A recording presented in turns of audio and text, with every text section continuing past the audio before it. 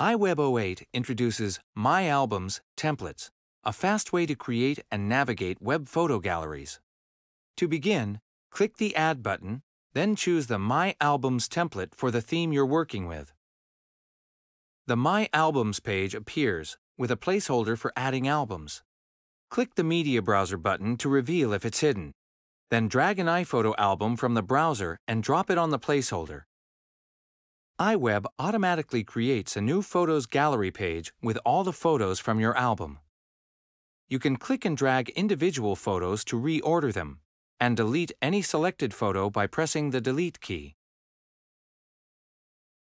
In the sidebar, you'll see the My Albums page you added and the Photos page listed directly underneath it. Click the My Albums page to return to it, and a single image button has been created, linking to the Photos page.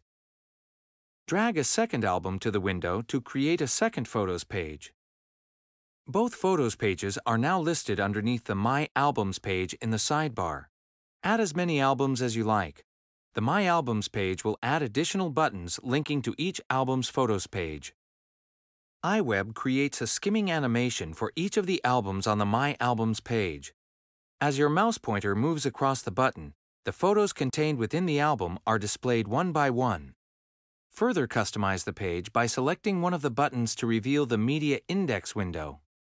Here, you can change the border design surrounding the buttons, the number of columns and spacing of the layout, choose a different animation effect, choose what information to display with the images, and add or remove a subscribe button for an RSS feed. To change the names of the albums, Simply double-click to rename the Photos pages in the sidebar. iWeb will automatically rename the buttons on the My Albums page.